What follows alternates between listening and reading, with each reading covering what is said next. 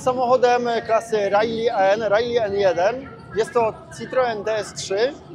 E, Dysponują mocą około 200 koni mechanicznych z turbo doładowanym silnikiem. Jest to nowa klasa, nowa klasa w Mistrzostwach Południa, w Mistrzostwach Śląska, w drugiej lidze. E, Auto już młodszej generacji, wcześniej startowaliśmy e, Hondą Civic e, szóstej generacji. Te samochody są tak jakby nową, nową generacją, nową, nową namiastką samochodów rajdowych.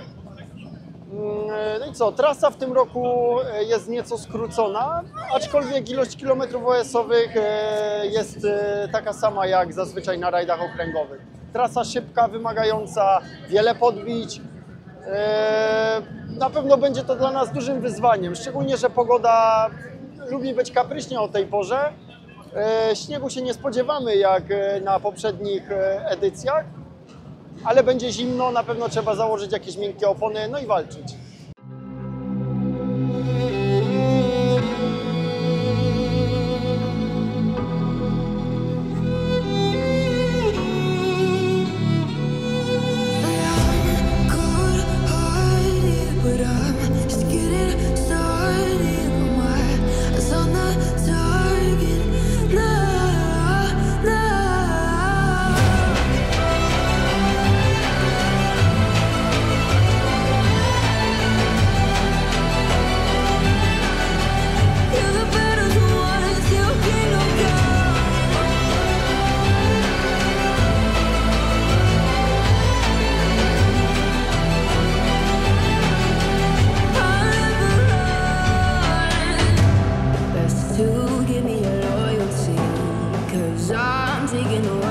See.